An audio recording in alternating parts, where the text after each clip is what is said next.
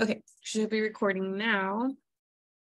Um, can someone come off of mute real quick, just so I can make sure my speaker's on correctly? Hello, hello. Perfect. Thank you so much, Justin. Okay. Um, so today we're going to talk about 9.8 and 9.9, and they're kind of like the buildup to get to 9.10. Okay. Um, so 9.8 is where we're introducing like what a power series is. And so essentially what you have in here now is you have X's, right? We didn't have X n the picture before today. Um, it was just always n, right? N was the only variable. So this part here doesn't really, it can affect the convergence of the series only because the exponent has an in in it as well, right?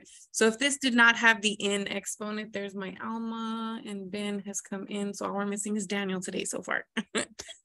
um, if this did not have the power n, then essentially your X isn't going to change or affect the convergence or divergence of anything, okay? But because it has that n power, it now causes some issues, okay? So with the X though, you have to identify a center, okay?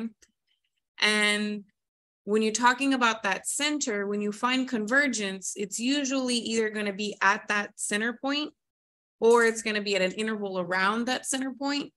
and that interval could be an open interval or a closed interval. It just depends on the situations, okay? So we're gonna see a bunch of different cases. I think I picked about six examples per section. Um, and then the next section is just more of manipulating it to look like a series. So for 9.9, I think I only had two examples. I think I covered like three good ones in the video, and there's only four problems in 9.9 in the homework, okay? So those three videos plus one of the ones I do today should be some good examples to follow to complete the homework. Um, if you do have questions on like where things are coming from when we get to that section, please let me know, okay? Because that one does require a little bit of manipulation. Once we get to 9.10, they will give you a function like they do in 9.9. Notice how here they give us a function and then they tell us like a power series. They'll give us a function and it's not one that we can manipulate the like we'll manipulate today to make it look like a power series. So there's another way to do it. And it's called Taylor series or Maclaurin series. Okay. It just depends on where the center is. If the center zero, it's called a Maclaurin series. If it's if the center is not zero, then it's called the Taylor series. But it requires derivatives and then patterns. Okay. And so it'll be interesting, but all of this is build up to like to that. Okay. So we'll talk about some that we can manipulate and how do we find those radiuses of convergence. And then eventually we'll get some different kinds of functions that we'll mess with as well. Okay. But for starters, we need to talk about how can you tell where a power series will converge. Okay. And I think I noticed that one of the problems in the homework didn't even ask us to do any of that. It just stated, said to state where the power series is centered. Okay. I saw there was, I think, one of the problems in the homework like that. So they're not asking you to do anything. They're just asking you to look at it and identify the seed. Okay. And normally what you're looking for is you're trying to zoom in on where the X is at. Okay. So you always have X with the power of n or you could have x minus a number with the power of n. In this particular series, our term that we're trying to focus on is right here. And you notice that it doesn't have plus a number or minus a number with the x, right? It's just x. So x to the power n is the same as saying x minus zero to the power n, which means that our center is just zero. Now that's a little bit different if you had a different situation, right? What if this term right here was x minus 2 to the power n? Then that would mean that our center is 2. What if it looked like x plus 5 to the power n? What would the center be? Negative 5, exactly. Ours just didn't have plus or minus a number, right, before the power. So our center was just zero. So it really doesn't even matter what all the rest of this stuff is to identify the center. It's just looking at the X to see if anything is being added or subtracted to that X. So those two are nice, right? They're real quick. They're not too much to do. Um, I just wanted to make sure I had that discussion with you guys, like what you're supposed to be looking at. Okay. Um, now the other rest of the problems are the ones where we have to do some work. so problems two through six, for these examples, we will be doing, um, and it's ratio tests. And why is it ratio test? Because you have something to the power n, right? And it says on that little sheet, if I go pull it up, under the ratio test, it says it's useful for factorials and nth powers, right? So we always want to use our ratio test when we have factorials or nth powers. And we have an nth power right there, okay? So that's why for all of the power series, all of them, we're always going to be using the ratio test, okay? So if you see the word power series anywhere in the problem, anywhere, you automatically know you've got to do the ratio test, okay? It's the fastest, easiest way to figure out where this thing is converging.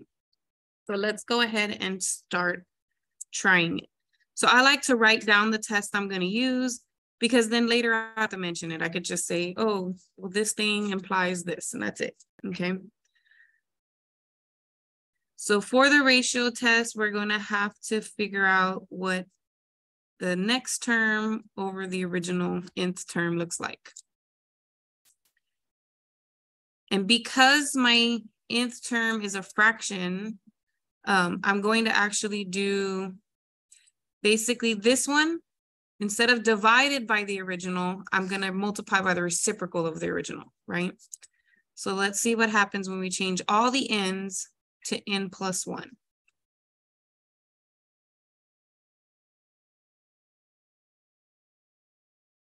My brain wants to add together already, but I should not.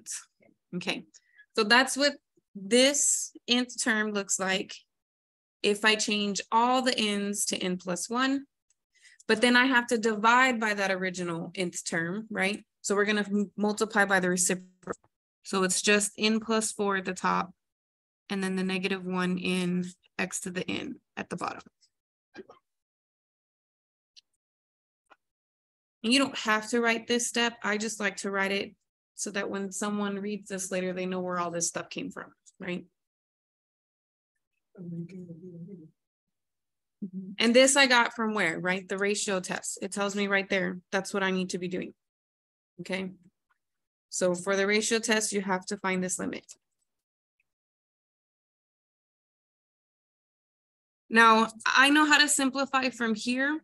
Um, I'm going to write it out this first time, but I really want y'all to start getting in the hang of being able to identify what's going to cancel without having to rewrite so much right? Because it's going to save time when you're taking the test, right? So I'm going to write it out this first time. And then after that, we'll just start talking about what's going to cancel. Okay. So I talked to you guys the last time that you can rewrite this, right? By kind of reverse using the power rule.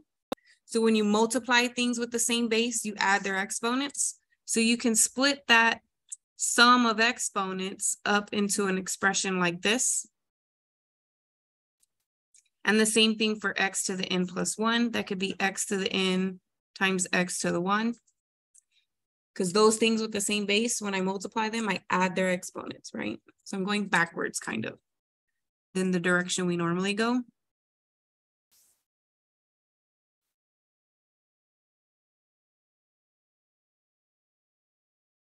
So when I finish simplifying this,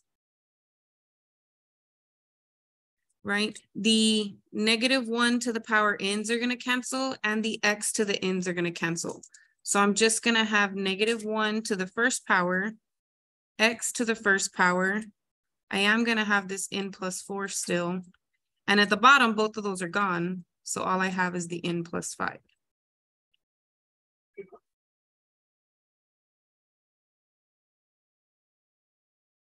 So back, back, back when, right? If you had an expression like this,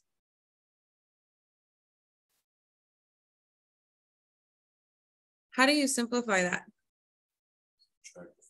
you subtract the exponents. Here's another way that I've seen people do it. They go, who's got the smaller exponent? This one, right? So they cancel all of those, but if they cancel 201 out of there, how many are they gonna have left over? 74, right? You see how that worked when you do it on paper? That's the exact same thing that I'm going to do to go from here to here, okay? So notice I have negative ones, right? But if I want to take out the x to the n, it's only going to take out that part of the exponent. It's, I'm going to be left with negative 1 to a positive 1 exponent. Okay. The same goes for x n and x to the n plus 1. I can cancel these, but it's going to cancel that part of the exponent, leaving me with just x to the 1. Okay. And then I have the n plus 4, and down there would be the n plus 5. Okay. So you don't have to do this rewriting step you can cancel it like this, okay? You just make sure that you're canceling oh, completely away the smaller exponent, but that's only taking away the matching exponent from the bigger one, okay? So I won't do this part anymore, okay? But I wanna get y'all used to kind of just simplifying it that way. It's gonna save time, right? That takes a long time to write down. Okay. So once we have this, I'm going to take out the part that has the X because it really does mess with things. So I'm going to take the X part out to the front, but it's in absolute value bars. And since I don't know what X is, it could be anything, right? When you're talking about a function, you could plug in any X value to that function, right? So I don't know what X is. I don't know whether it's positive or negative. So we're going to keep it inside the bars, but it doesn't have an N in it. So it doesn't be inside the limit. The limit only goes for the variables n. So I'm left with this negative one over that, and then n plus five. Oh, I don't know why I made that bar wrong, but it's okay. Then what we're gonna do is we're gonna do that step where we divide everybody by the highest power of the bottom, right? Or you could do L'Hopital's rule, it's the same thing. So I'm gonna pretend like this is negative n, and when I divide negative n by n, I'm gonna get negative one. This is a negative four. I would get negative four over n when I divide by n. And I do the same to the bottom. When I divide one by n, I get one. And then when I divide five by n, I get five over n. So we end up with these two guys going to zero, and I just end up with the absolute value of negative one, right? And the limit of the absolute value of negative one is just the absolute value of negative one. But what's the absolute value of negative one? It's just one. So x or absolute value of x times just a plain one is just the absolute value of x all by itself, okay? Now the ratio test tells us that once we get that, that value for L, right, we've already taken the limit. So this is L. And it tells us that L, if L is less than zero than one, then it will converge, right? So go to our ratio test. It converges if L is less than one. So that's what I'm gonna say. We're gonna say series converges when this thing is less than one. And this problem is only asking me for the radius of convergence. As long as this side looks like X minus your center, then you your radius is essentially what's over here. Okay.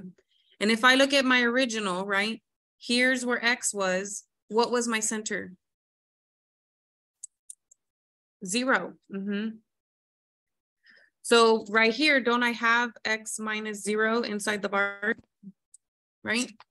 So then that is my r over there. And so for the answer, you would just say r equals one. And I think they just want you to type in the number one. There's only three possibilities that you could get for r. You're either gonna get zero, you're gonna get some positive number, whether it be a fraction, it be one, it be five, whatever it is, some number, or you can even get infinity as your radius, okay? So I think we're gonna address that at some point today. I don't remember when exactly on which one, but we will see one that has radius of infinity. Okay.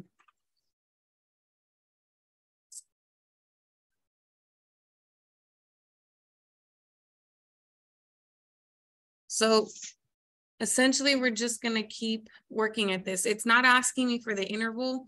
The interval convergence is the longer problem, okay? Because the interval, we know that it converges within that interval, and then we have to test the ends to see if it converges at the ends, right? That's the one that has like two extra steps outside of the ratio test. But for right now, these first two, we're just trying to practice our ratio test, okay? And really, I want just wanted to give you some examples where you could practice this reducing without having to rewrite everything. So let's try that here. I left myself less space because I wanted to try to practice um, that simplifying method. So let's go ahead and say we're gonna do the ratio test again. And we're gonna do the limit. And instead of me writing an plus one over an, I'm just gonna do it. So x and three times n, but the n is going to become n plus one. So make sure you're multiplying the three times the n plus one. Same thing happens at the bottom. It's three times n plus one factorial.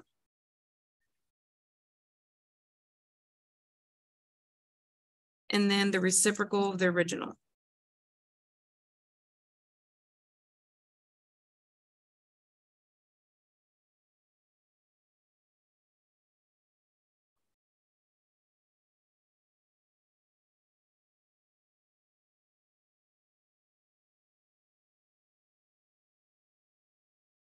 So here, this is going to become three n plus three once you distribute that three. So then this x to the 3n will cancel only the part of the exponent that has the 3n. So I'll still have x to the power 3 left. And then at the bottom, if I distribute this 3,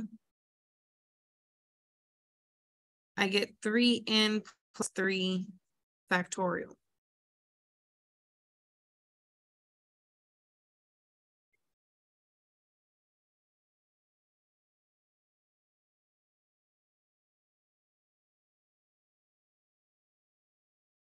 Now I'm going to write this down and then I'm going to explain why this is.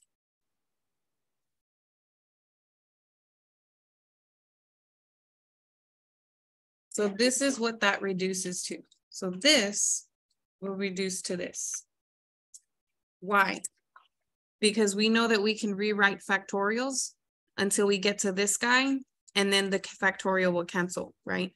So if I take out this first factor, I'll be left with one less factorial, which would be 3n plus 2 factorial. But if I got the 3n plus 2, I would be left with 3n plus 1 factorial. But if I took one out of there, I'd be left with 3n factorial, right? And then this 3n factorial is going to cancel with that 3n factorial. And all I have left are those three factors at the bottom.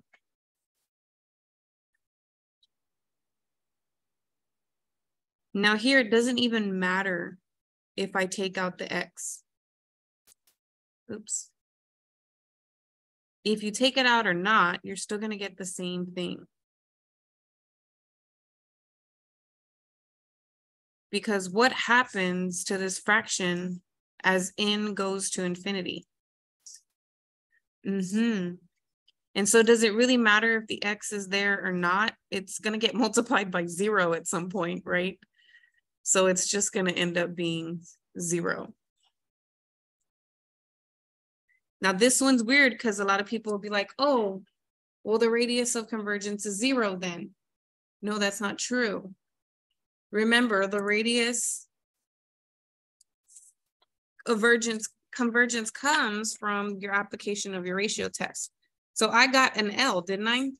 I got L equal to zero. Isn't that always less than one? For all X, it doesn't matter what X is, zero is always less than one.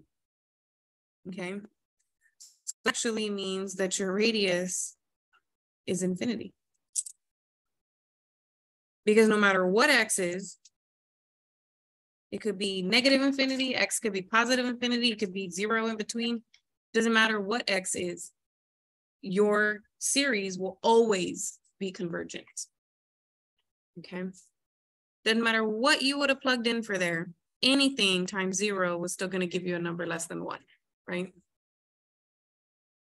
So that was, I didn't know it was going to happen so soon. I thought it was going to happen later. but we did finally get one just be careful because the most common misunderstanding there is they'll say that the radius is zero because you got zero as the limit, but that's not the truth, okay?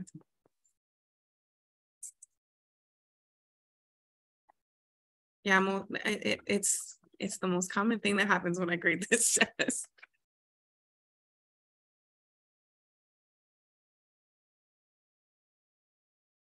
And, and to be honest with you, when I'm looking at these things, I look at the test before I start it, and then I go look at the test again after I'm finished doing all my math, just because I need to confirm what it was I was doing and why was I doing it and what was what does it mean.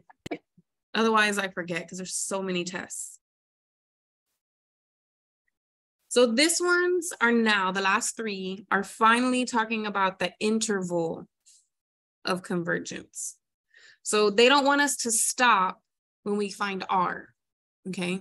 Finding R is almost all of the work, but not quite all of it, okay? There's still a little bit more to do after we find R. So I'm gonna start this next problem, same as I did with all the others, is doing that ratio test to figure out what R is. So let's see for this one. Which is also cool because you get lots of experience with this ratio test, right? It's my favorite. And you see why too, because it works on like almost all of them. Um, so I really do like to do it. The only time it doesn't work is if you do all this work for the limit and you get one, then you'd have to do some other tests because the ratio test is inconclusive if you get L equal to one. Okay, where's my thing, So all the n's are going to change to n plus 1.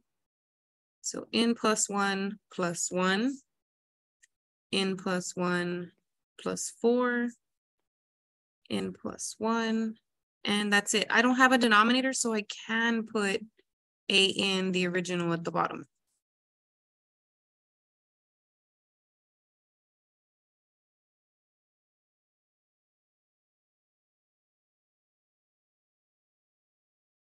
And if we practice that canceling, we should be able to wipe some stuff out. So this x to the n will cancel out this n exponent. Negative 1 to the n plus 1 will cancel out the n plus 1 exponent part. So I'm left with a negative 1 times n plus 5 times x. And at the bottom, n plus 4. I'm going to take out the absolute value of x. And this is just negative n minus 5 over n plus 4. And we've kind of already done limits similar to this one, but I'll do it.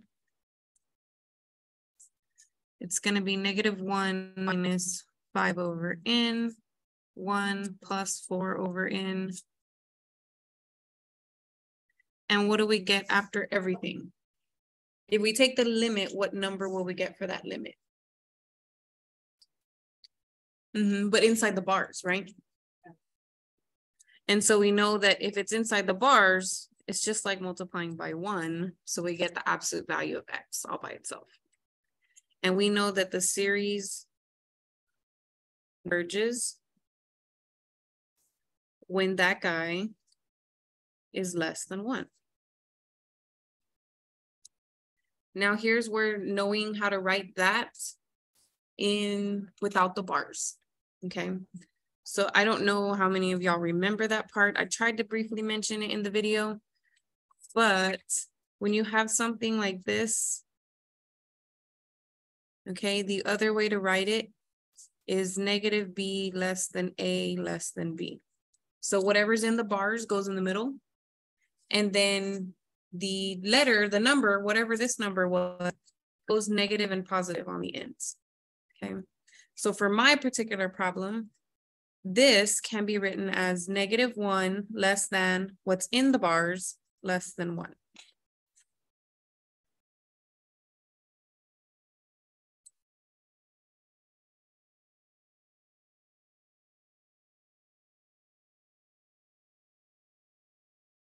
We definitely use that rule for rewriting absolute value inequalities.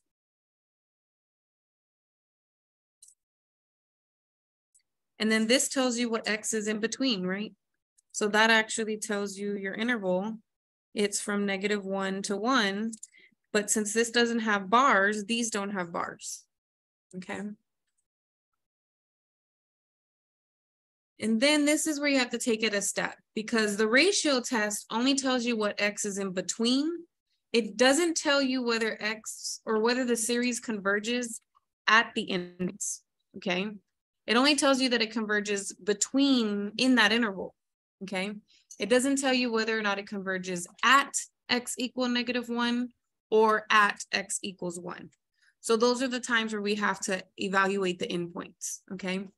And it's not that complicated. Most of the time you can use the nth term test right away to say no, it doesn't. So it stays in open parentheses. But every now and then, I think in all of these problems, it's gonna happen to us once, where you'll try it and then you'll realize, oh, it does converge, okay? And so then it should be a closed bracket around that number to include that X value. So let's look at both of these endpoints separate. First, we're gonna look at X equals negative one. So I'm going to rewrite my series, but instead of writing x, I'm going to write negative 1. So this is going to become negative 1 to the power n. Now remember, when you have two things of the same base, that's like adding their exponents together. So n plus 1 plus n is 2n plus 1. And you could stop here, but I'm just going to go one more step and say, oh, I'll leave it like this. Why did I change negative one to the power two n plus one to just a negative?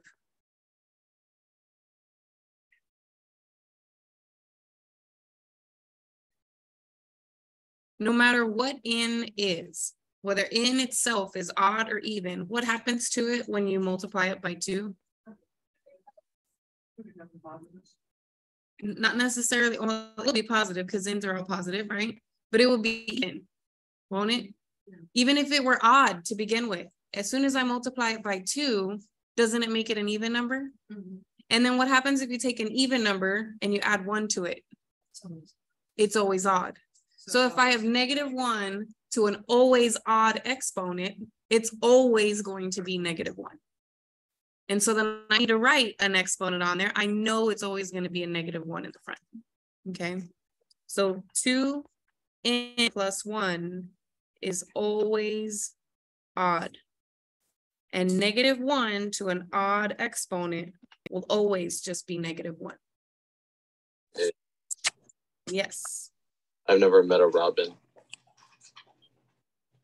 Was that the question? No, no.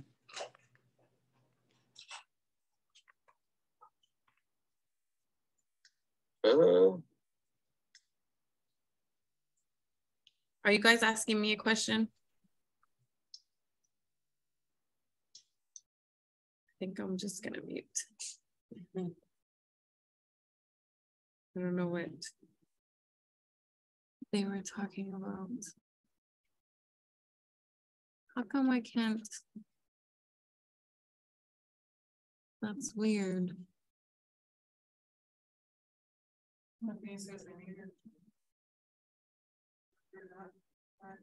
I don't know. That was weird. Okay. So for this one, I also just want to point out, okay, because it can happen and it's going to happen later. So you're going to see this 2n and 2n plus 1 situation. But 2n is always what? Always even. Okay. And I'm mentioning this now, not for no reason, okay? Because it's going to happen and when we get to 10. Because in 10, there's going to be a formula, you're going to use it, and then you're going to have all these terms. And then you need to put that, all those terms into like a formula, okay? It's just like if you saw, you know, one times two times three dot, dot, dot to the n, right? If you saw that, you would know that's n factorial, right? If you saw two times four times eight times 16 times 32, you know that's two to the power n, right? So you're gonna have to start seeing some patterns like that. And if you start seeing numbers like one times three times five times seven, what are all those numbers? Odds, right? So it's two, yes, two n plus one factorial, okay? If you start seeing two, four, six, eight, blah, blah, blah, blah, blah, it's two n factorial, okay? So we'll have to start getting used to seeing these patterns, okay? That's why I'm kind of mentioning this even odd, the way even and odd numbers are written, okay?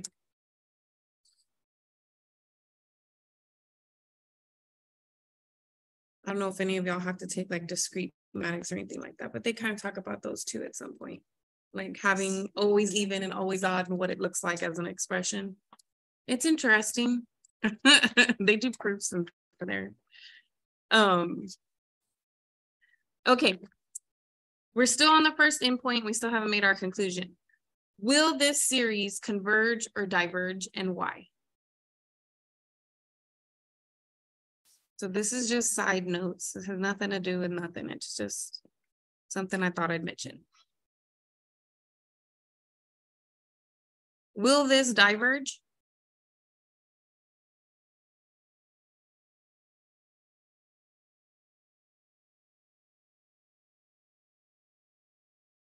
It does diverge by the nth term test.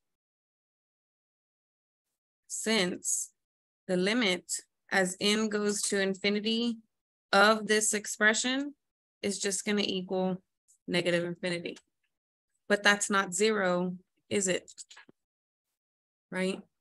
And so according to the nth term test, if you take that limit and you don't get zero, it automatically diverges. Okay. So this one will diverge because when I take that limit, I don't get zero. I want to see if I can squeeze the other one in here, even though I left myself room on the next page. But I feel like it might fit. So now we need to check the other endpoint. So I'm gonna go back. It's really a matter of where are you looking? Go back to the original and plug in one for X.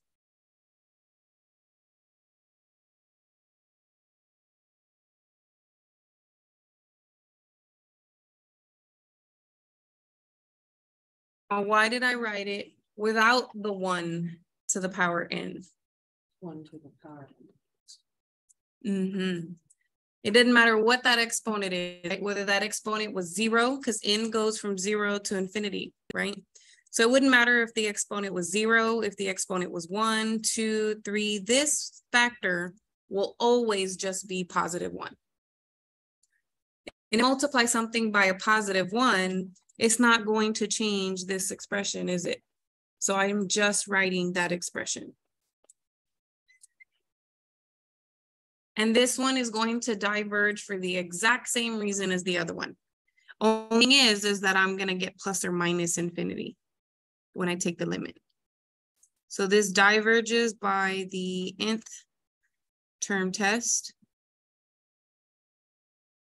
Since the limit as n goes to infinity of this thing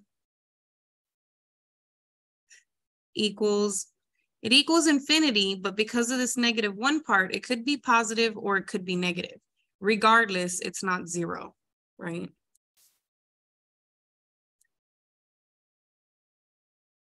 So it really doesn't matter if the limit is positive infinity or if the limit is negative infinity. Either way, it's not zero. Okay. So then that tells us that our interval is going to be negative one to one, and it's going to stay open because it did not convert the ends.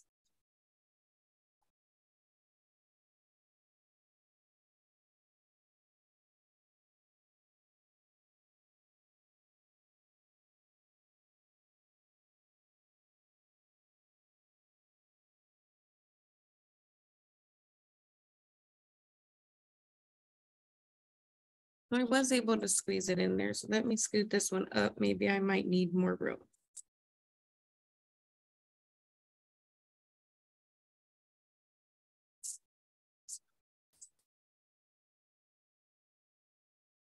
So I picked all of them on purpose because they all should be doing different things. So you can kind of see the different cases.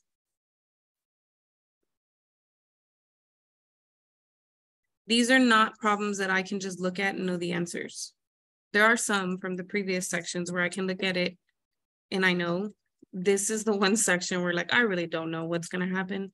I have to actually go apply the test and plug things in and simplify it before I'll know.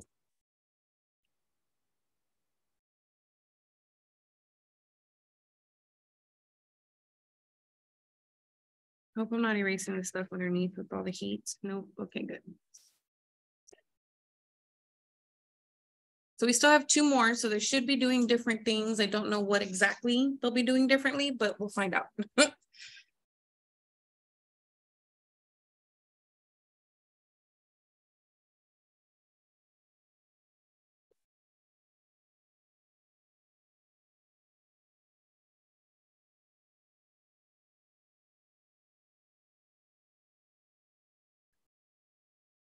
So we're gonna start again by doing our ratios just to find that radius.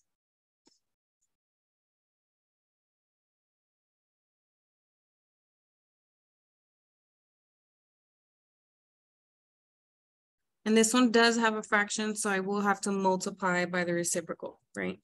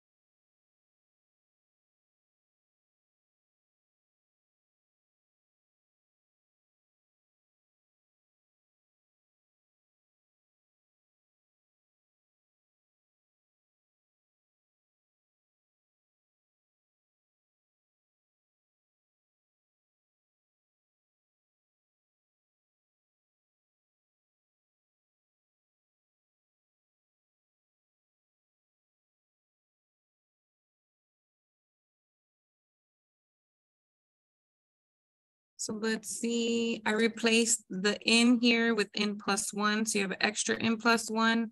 I replaced this n with n plus one, this one at the bottom, and the exponent at the bottom. And then I just multiply by the reciprocal of the original. So this negative one, n plus one is gonna cancel out the n plus one part of the exponent. This x minus four to the n will cancel out the n part of the top exponent. And six to the power n will cancel out the n exponent for six to the n plus one.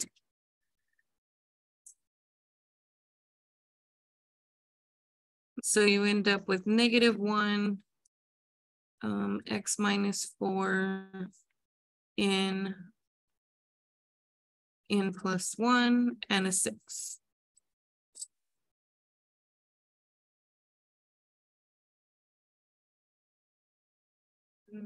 I think I'm gonna do two things. I'm gonna take out the x minus four part because it doesn't have n's in it. And then I'm actually gonna multiply the negative one in the n, and I'm gonna distribute the six at the bottom. So this is what it will look like.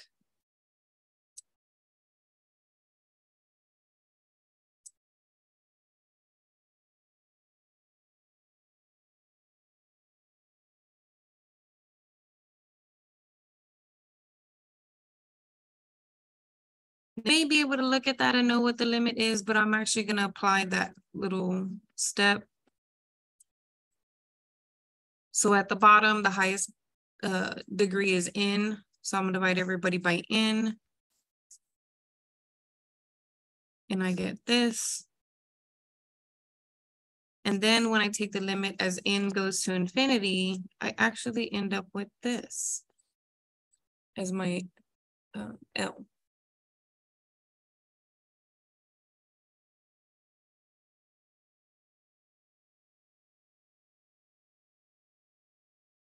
Now the absolute value of negative one six is just positive one six.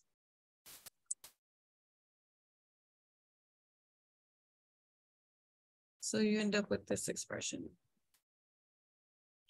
And we know that the series converges when your L is less than one, right? So when this thing is less than one. Or if you multiply both sides by six, when this is less than six. So the radius is six. However, if you want to get the interval, you have to rewrite this um, inequality. So I'm going to rewrite the inequality as negative six, what's inside the bars, and then positive six. And if I add four to all three pieces, we're going to get negative two x and 10. So potentially this is my interval. I'm just not going to say it's exactly the interval. I'm not going to say I equals this because I don't know what's happening at the ends, right? We have to go confirm. Do does the series converge when x is equal to negative two? Does the series converge when it when x is equal to 10? We know it converges when x is between negative two and 10. We just don't know what's happening at x equals negative two and x equals negative. And this one is a half and half. So it will come out, one works and one doesn't, okay? So one of our ends in our interval will have a burn.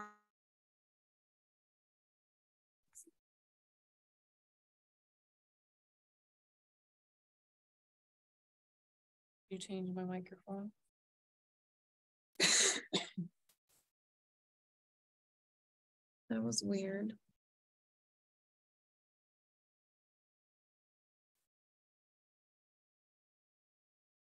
Can you hear us? I can hear you. Yeah, we lost you there for a second, but you're back. I don't know why it's it was telling me something about my microphone. I stopped talking for a minute too, so that might have been I don't know what happened. Come on, computer. My mouse is thinking, so I'm not going to do anything until it stops thinking. Why does it keep doing that? Hmm. But you guys can hear me now? Yes, ma'am. Okay, cool. So we're gonna go ahead and we're gonna try to see what's happening at x equal to negative two. And then eventually we'll see what's happening at x equal 10.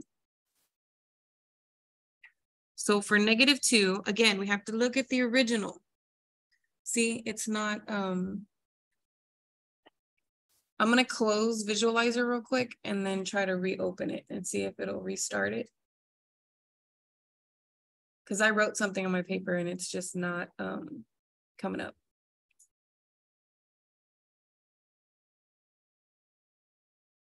So let me see. I mean, if anything, I can change my camera to the to the this camera. It'll still work, but I just don't prefer to do that. See, now you can see what I wrote down. I had written down something. Okay. Hopefully resetting the camera or the application helps. I don't lose you guys again.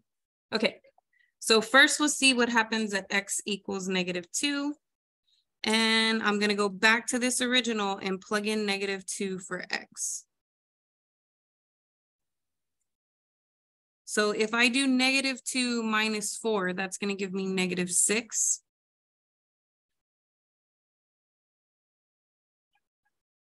And this I can rewrite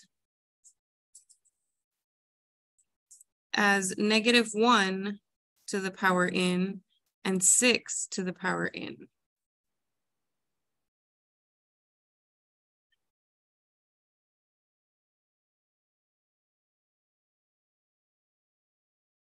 And then we that the six to the power n just kind of goes away, right?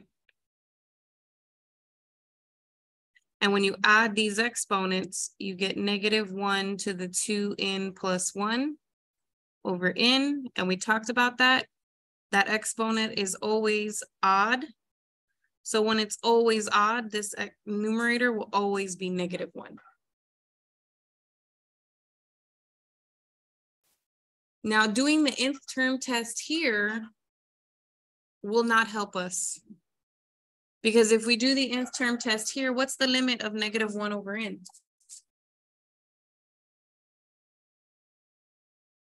It's It is zero. So it doesn't diverge automatically, right? We can't, we can't do, I mean, we did the nth term test in our brains, but it's inconclusive, right? It tells us on this sheet that if the limit is zero, then that's inconclusive. So doing the nth term test literally tells us nothing. Um, but what I can do is I can factor out that negative. If every term is going to be negative, then just factor out the negative.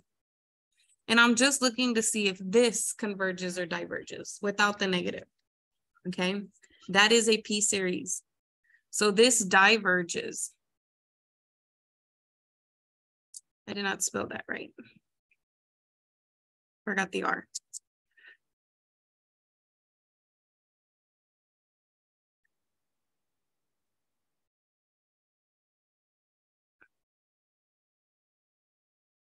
What is P in this value in this particular problem? It's the exponent, which is one. And if we look at the P series test, right? You have n to some power. It diverges when P is equal to one. Okay. So my, my exponent is a one. And so my P value is a one, which means it diverges. Okay. So that means there will not be a bracket negative two. I told you it was a half and half, so it probably works at 10, probably converges at 10, but let's go see what that looks like.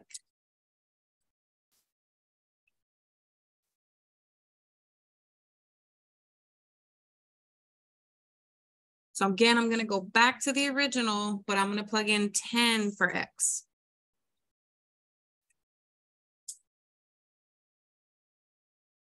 So instead of x minus 4, it'll be 10 minus 4, which is 6 to the power n. And the same thing kind of happens here and here as far as those canceling. But this time I still have n plus 1, negative 1 to the power n plus 1. And again, if I tried to do the nth term test, the limit is 0 right? There's no such thing as plus or minus zero. So the limit is zero. So it's not going to diverge automatically, just like the other one. So we have to apply some other tests. Now, whenever you have that alternating sign, the test that you should be applying is the alternating series test. So remember for that one, you had the two criteria, right? Um, the first criteria was that this guy was bigger than the other guy. So let's see if that's the case. And then the second criteria was when you take the limit of AN, does that equal zero? So we have to see if this meets the two criteria. Well, first we have to define AN. AN is the part of the nth term without the alternating part. So since the only thing I have in the numerator is the alternating part, it's just gonna be a one at the top. So this is my AN. So my AN here is one over N. If I plug in N plus one in there, it's gonna be one over N plus one. And then is true or false? If you know from there, then great, you can say yes, it's true. If you don't know, cross multiply. And then if you can tell from there, then say yes, it's true. If you can't subtract n from both sides, you should at least be able to tell there that one is always bigger than zero, right? Some people can make the conclusion here, right? If this denominator is bigger, then this fraction will be smaller. Some people cross multiply and they're like, oh, well, if I'm adding one to the number, that's definitely bigger than the original number. But if that doesn't make sense, then subtract n. And eventually you can't deny it, right? It will eventually get to something what's true or not.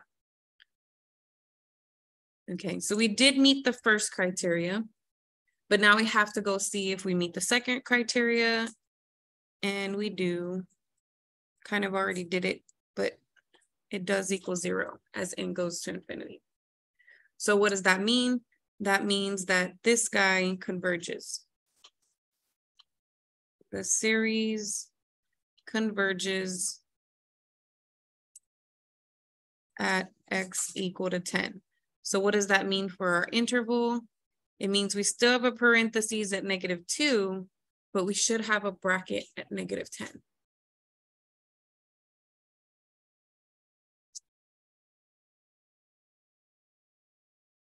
And that's supposed to be an R. I don't know why my hand did not want to write an R.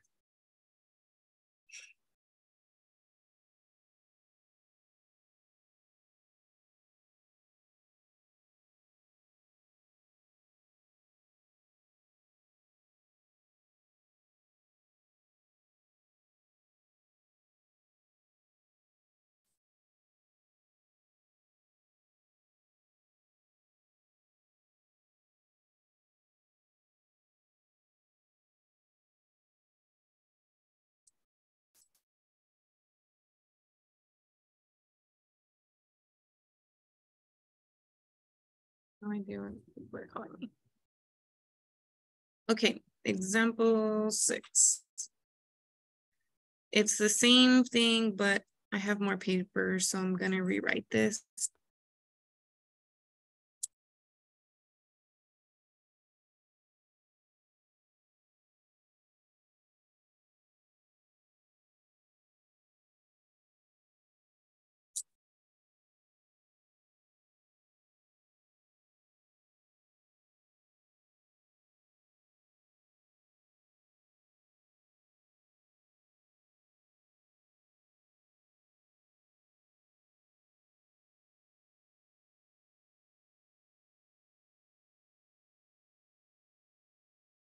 Every so many years I try to change my writing. It's like sometimes I write my A's like this, sometimes I write my A's like that, sometimes my sevens, my Z's.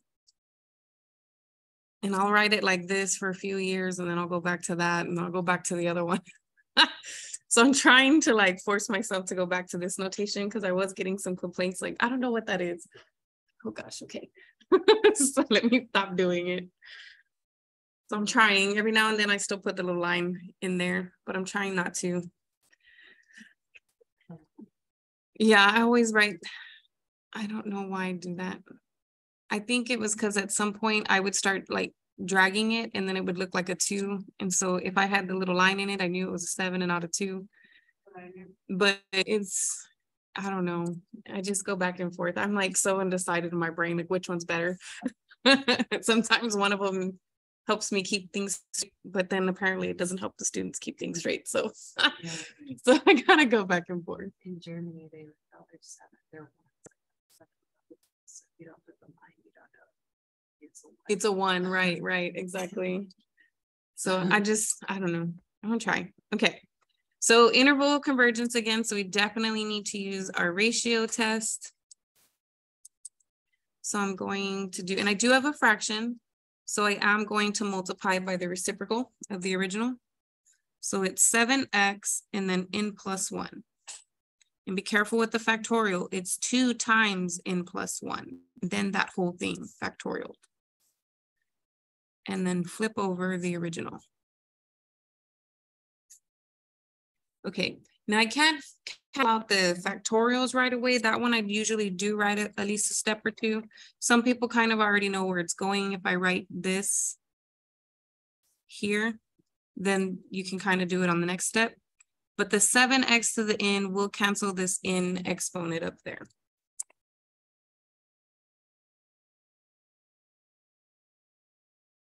And so then this will cancel with some of those. You just kind of have to take out the two n plus two and the two n plus one, and then you'll have the two n factorial left, right? So we'll get seven x to the power one, which is just seven x. And then two n plus two, two n plus one.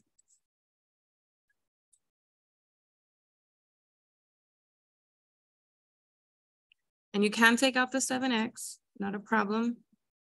It doesn't have any n's in it for the limit part.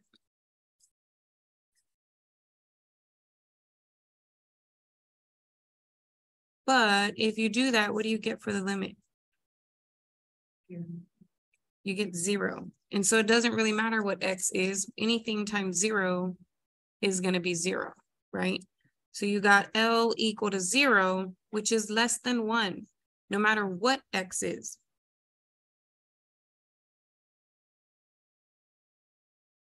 So that means that your radius is negative infinity, or your radius is infinity, right? Because all x means all real numbers,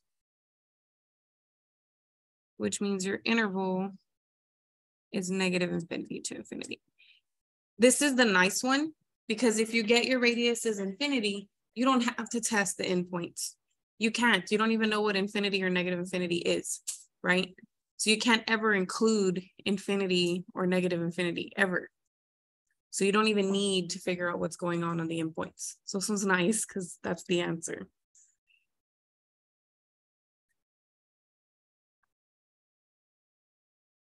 Let me erase all this before somebody looks back at this and is like, what is all that? what does it have to do with anything. Yeah. Hmm.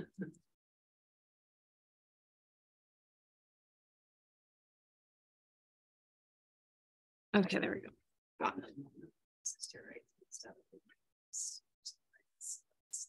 She writes it. One, I sit there, I'm like, why'd you write seven twice?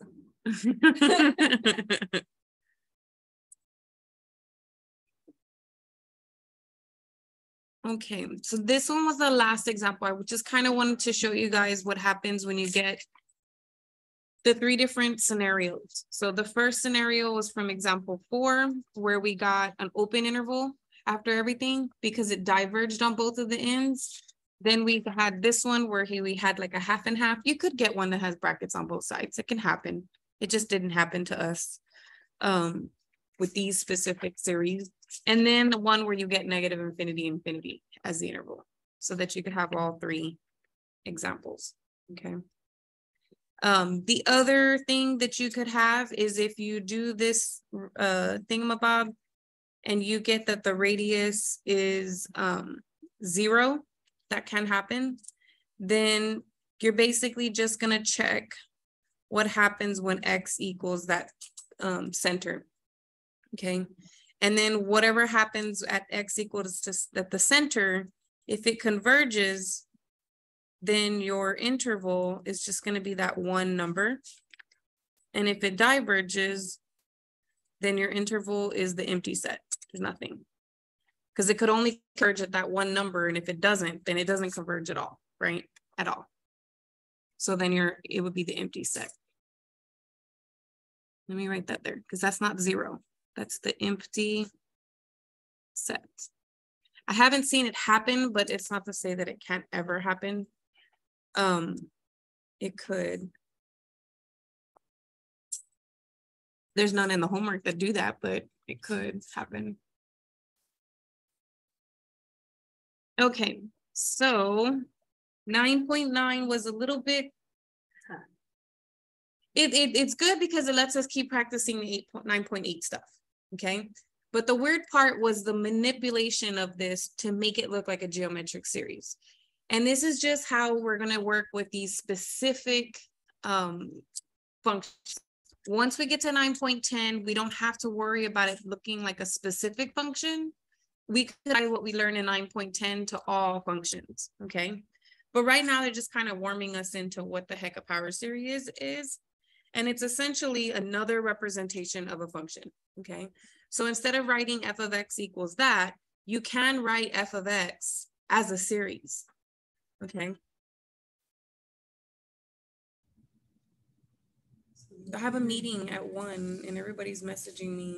I don't know, I guess about the meeting, but stop, I'm in class. See the sign outside my door? um, so this one's weird because you really want to try to get it to look like this because we know that once it looks like that, that is the answer to this series, right? So if we could get it to look like that, then we would know what it's going to look like as a series, okay? Um, but that's going to be the hard part is trying to get it to look like that, okay? So the first thing you do is you use your center because your radius does need to have your center in it. So the first step that I would do is behind that minus sign is I would minus the one and add the one at the same time. So I'm not changing the value of the original fraction, right? Because it's really like I'm adding nothing. Then what you can do is you could kick out the extra term that you don't need. So I only want the x minus one in there. So if I distribute this minus to that guy, it's gonna kick him out of that parentheses. And then I can combine my nine and my minus one to give me eight. But remember for the formula, you have to have a one in front of that minus sign, right? And right now, currently there's an eight in front of that minus sign. And that's fine, just divide everything by eight. So I'm gonna divide this term by eight. If I divide eight by eight, I get one. And then I'm gonna divide this term by eight. Once you have it in that form, the numerator is your A and whatever's behind the minus sign is your R.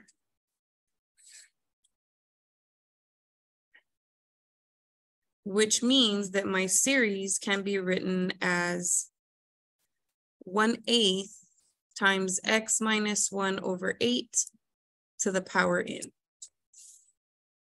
Now, what I'm curious about is whether or not the computer will take this as the answer. Because when I looked at the answer, that was not what they had as the answer. It's equivalent, but it's just not what they had as the answer. I don't know if the computer will take that, but I do know it gets a new version. So if I distribute that into the numerator and the denominator, it looks like x minus one over n or to the power n and eight to the power n. Which is x minus one to the power n over eight n plus one. Because this guy's exponent is one.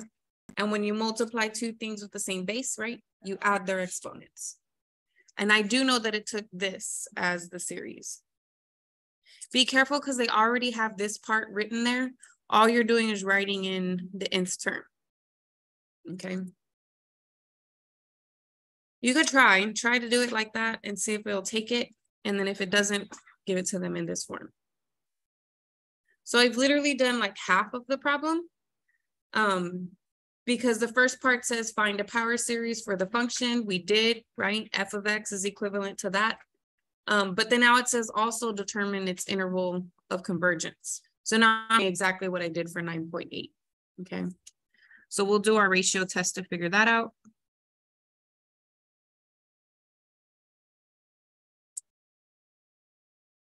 And I'm gonna have the limit as n goes to infinity. X minus one to the n plus one eight n plus one plus one, and then the reciprocal of the original.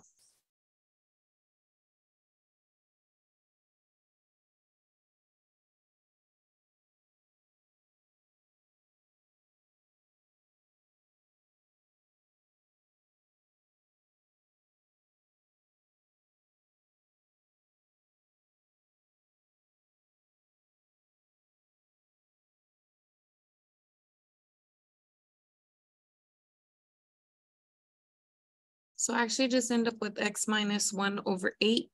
There's no, there's no n's in this, is there? So it's like everything, even though x is a variable, it's not a variable that we're worried about in the limit. So when we take the limit as n goes to infinity, we're just gonna end up with this fraction inside the bars. And we know that the series converges when that thing is less than one. And another way to write that is when what's inside the bars is between negative one and positive one. And then if you want to know the interval of convergence, you just solve for x. So I will multiply everybody by x by eight. That will give me negative eight, x minus one, and positive eight. And then I will add one to all three, and I get negative seven, x, and nine. So I know it converges between negative seven and nine, but in order for me to know whether or not the seven and the negative seven and the nine have to have brackets, um, we have to figure out what's going on. If it's specifically at those two x values. So let's go look at negative seven first. Uh-oh, somebody might have got kicked out. Okay, so for x equal to negative seven, I'm gonna go back to look at my series and I'm gonna plug in negative seven in there. So then that would be negative eight to the power n.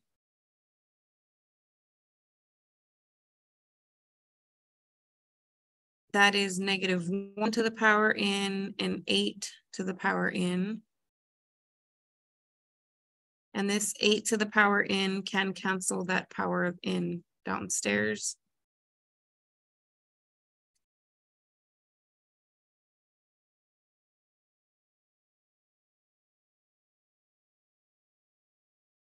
Now looking at that, will the series converge or diverge?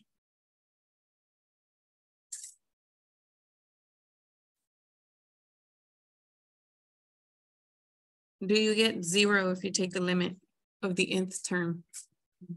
No, so then that means it diverges. So it diverges by the nth term test since the limit as n goes to infinity of this, it actually equals plus or minus one eighth, but in either case, it's not zero, right? Because yeah, we don't know if n is even, it'll be a positive one, but if n is odd, it'll be a negative one in the numerator, but still eight at the bottom.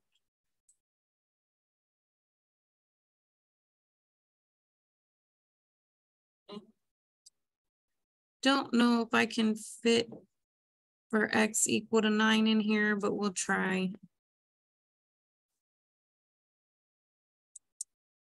So if I go to this and I plug in nine for x, I'm actually going to have eight to the power n over eight n plus one.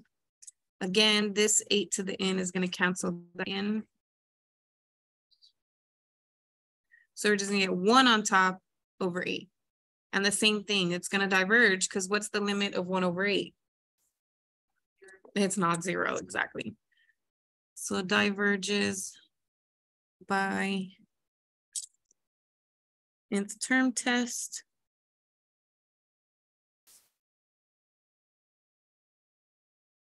Since the limit of one over eight equals one over eight, and that's not zero.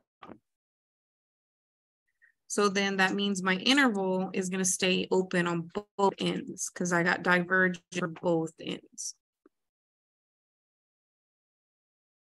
And that's what they wanted was the interval. So they wanted two parts. They ask you to plug in what you get for the power series and it asks you to plug in what you get for the interval of convergence. Okay, so there'll be two boxes on these problems in 9.9.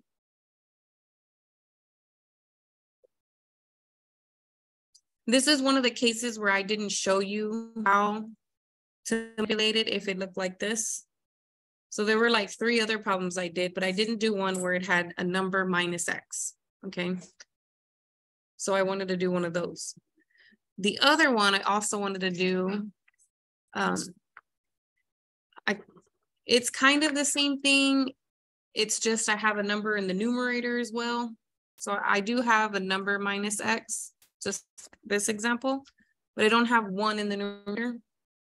And I don't have a positive C value. So I wanted to try to see what that one would look like, just so that you had an example of it. So here it has four in the numerator, and then my C is actually a negative number. So I just wanted to take a look at how we, how we work with that.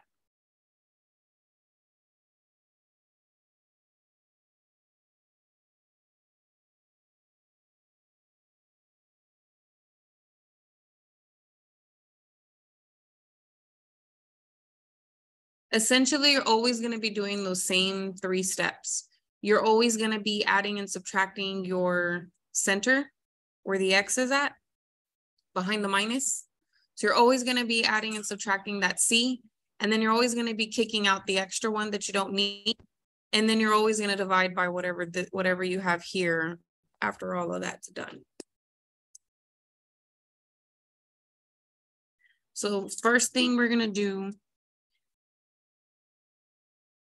is it's got to be X minus the C value. And then you're going to add the C value. And I'm just making sure you're doing all this in parentheses behind the minus sign. Okay. Now you need minus the C value. You need this one to stay. You don't want this one in there. So that's the one you're going to distribute the minus to.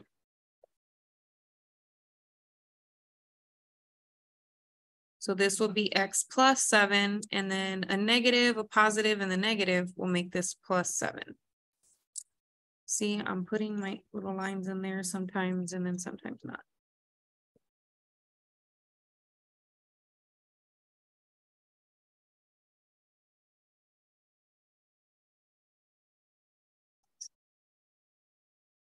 Then combine your two and your seven. So I get nine in front of the minus. And then we know that nine needs to be a one, so divide everybody by nine. So it can turn into a one. So we get four ninths, one, and then we get x plus seven over nine. Now that tells me that A is four ninths and R is X plus seven over nine.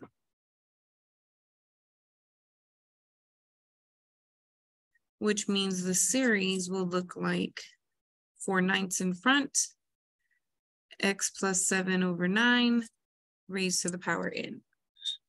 Again, I don't know if the computer will take that, but I do know it likes the other version.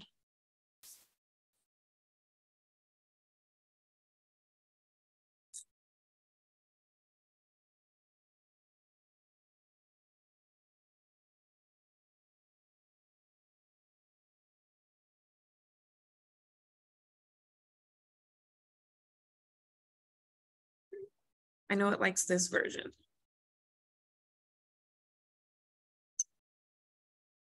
So all I did was distribute that in power right to the numerator into the denominator. You can't do it when there's a plus, only when it's division or multiplication, okay? So I couldn't do like x to the n and seven to the n. That doesn't apply.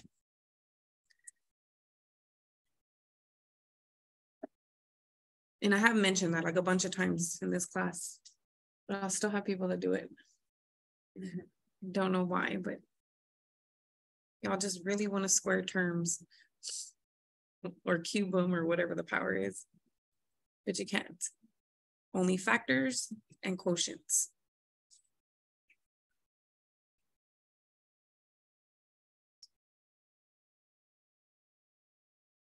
Okay, so half the problem, this one, it's supposed to say more directions, but I think I did not copy it down. But it's supposed to say also determine the interval of convergence. Interval of convergence. And this is our last one, so we'll go for it.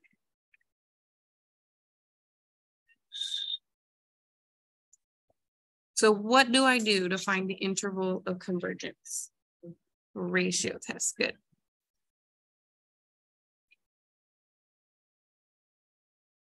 So let's see, the limit as n goes to infinity. And I'm gonna put n plus one in place of all the n's.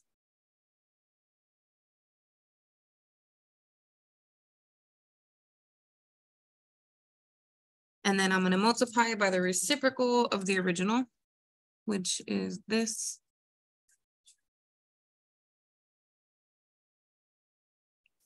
And then we'll see if we can simplify a little bit. So that guy will cancel the n plus one. This guy will cancel the n and the fours will just straight up cancel, right? Four divided by four, it's just one, it goes away. Multiplying by one's not gonna change anything. So we end up with just x plus seven in the numerator. And in the denominator, we just have nine.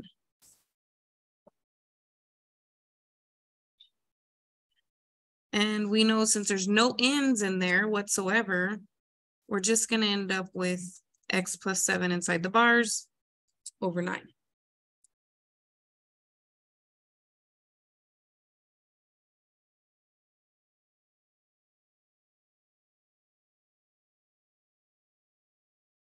And we know that the series will converge when that value is less than one.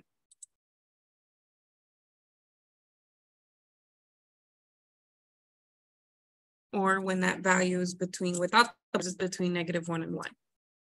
So I'm gonna multiply by nine.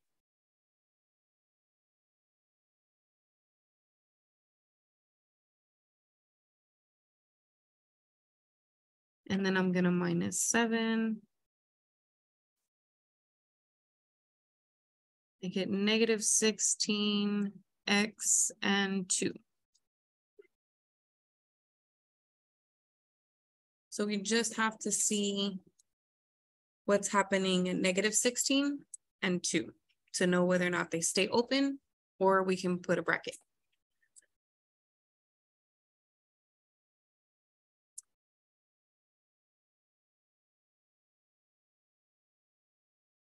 So I'm gonna go to my series before I started doing the ratio test, and I'm gonna plug in negative sixteen in here for X. Negative sixteen plus seven is negative nine.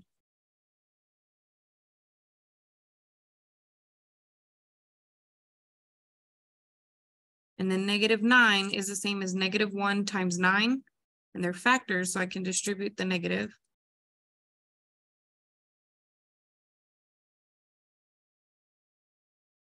And then nine to the power n can cancel the n power.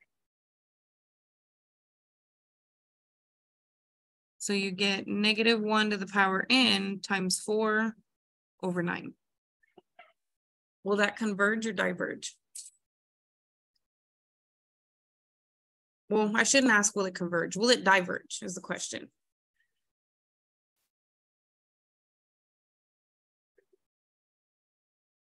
Not infinity. If you take the limit as n goes to infinity, this could be positive or negative, right? But you get positive or negative four ninths, right? So in the fact that the limit is not zero, it's gonna diverge, okay? So this diverges by the nth term test since the limit as n goes to infinity of this is plus or minus four ninths, which is not equal to zero.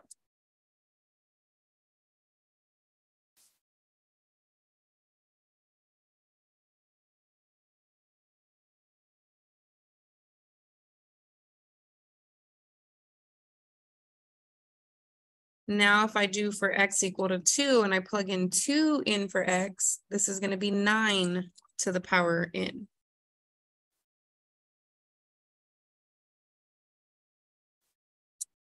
Which means it's gonna simplify with the bottom. So this will cancel out the n and you just get four over nine.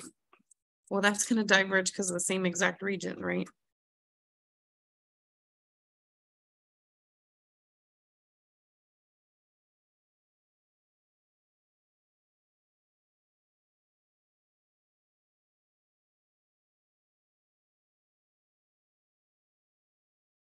It just doesn't have two values, it just has one value four ninths, but regardless, it's still not zero, okay? So then what is the interval? Our interval is gonna be from negative sixteen to two, but no brackets at all.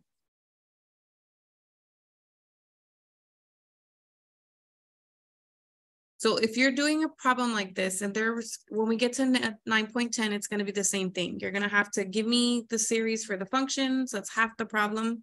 And then the other half is finding those radius or intervals of convergence, depending on which one they ask you for, okay?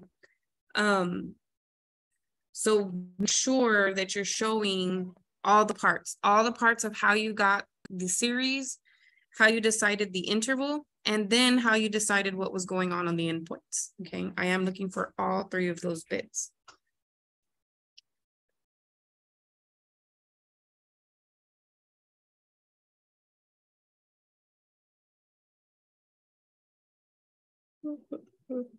That's it. Does anybody have any questions? Sure. Got a list. Okay, good. That's good.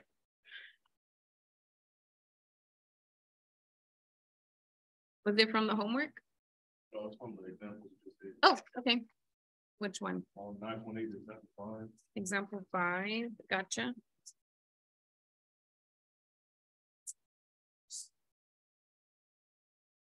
X one was.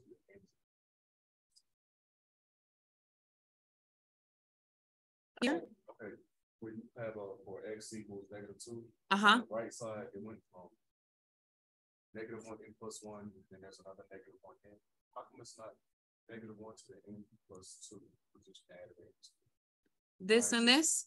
Yeah, when you go to the right, then it's negative one to the n or two n plus one. Uh-huh, because what do you get when you do n plus one plus n?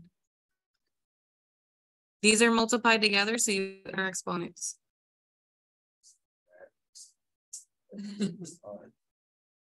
I said it too fast. I, I, I was thinking it would be n plus two, plus one, and then another n. Oh, sure, sure, sure. Gotcha. I got. it. I got Mhm.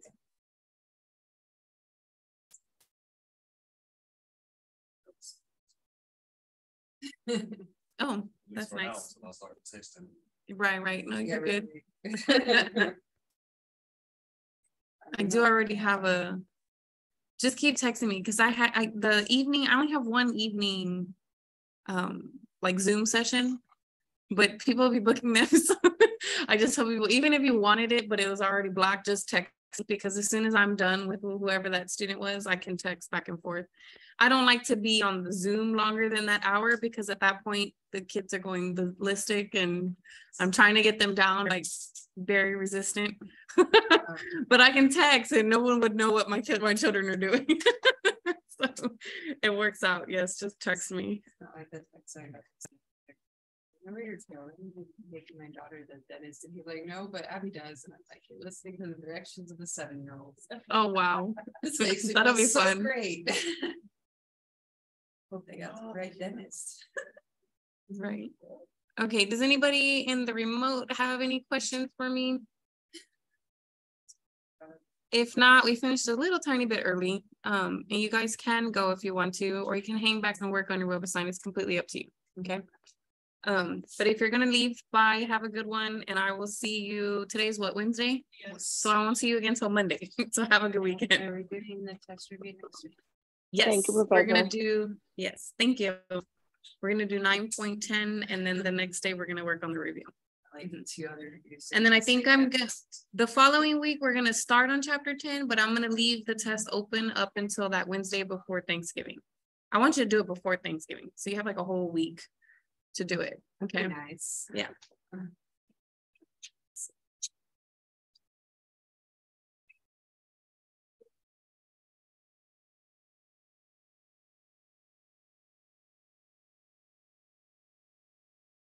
didn't even look at any of these. Good. I wrote down the answers just in case, but I'm, I didn't even look at any of them. Bye-bye, have a good one. Those are extra. Oh, let me stop recording.